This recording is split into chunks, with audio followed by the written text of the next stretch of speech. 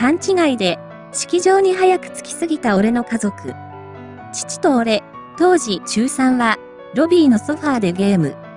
母と姉、当時高2は、ホテル内を散策すると言って、どこかへ行ってしまった。1時間ほどでいとこ一家がやってきて、控え室に向かう途中で、泥棒と悲鳴。いとこが、神父の声だというので、いとこと足の速い俺が、悲鳴のする方向へ駆けつけると、神父が、泣きながらドアの入り口に座り込んでいた。部屋の中には、神父のウェディングドレスを着た姉と、大げさねえ、と笑う母。いとこは、何してるんだ。早く脱げえと叫びながら、姉を往復ビンタ。母と姉は、何も殴ることないでしょう。と逆ギレ。後からやってきた父は、ちょっと借りただけなのに。とふてくされる母と姉をビンタして、神父父に土下座。母は、覚えてらっしゃい、離婚よ、離婚。と絶叫するも、おじ、父の長兄に殴られ、しぶしぶ土下座。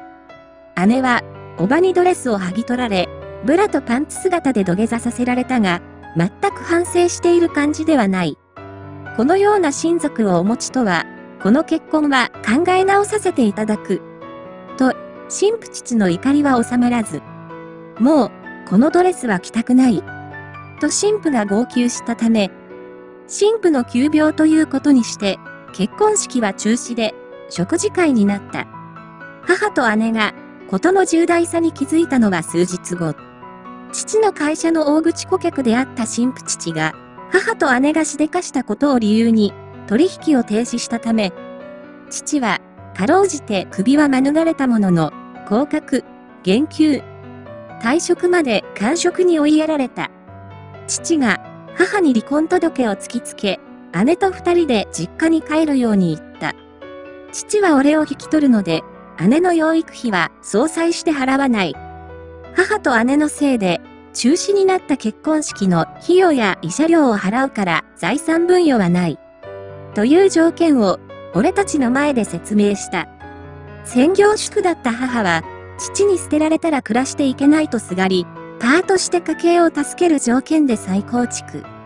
神父は、服飾関係の仕事で海外を飛び回っていたので、ドレスや小物の材料は自分で買い付け、有名デザイナーに頼んで、フルオーダーで作ってもらったので、ドレスだけで300万円以上。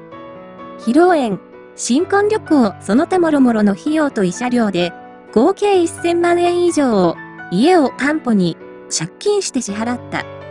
私立の中高一貫校に通っていた、姉と俺は、公立校に転校させられ、俺は特待生で進学したが、姉は大学にも行かせてもらえなかった。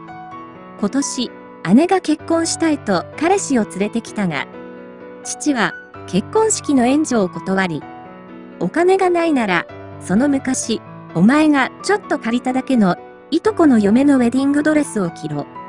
と言ったら、姉は他人のために作られたドレスなんか着たくない。だと。なら、なんであの時ドレスを着たんだ？と父が激高し、結婚は一時お預けになった。多分、破談になると思う。ちなみに、いとこたちは別れることなく、1年後に同じ会場で結婚式を挙げた。父と俺は招待されたが、母と姉は出禁だった。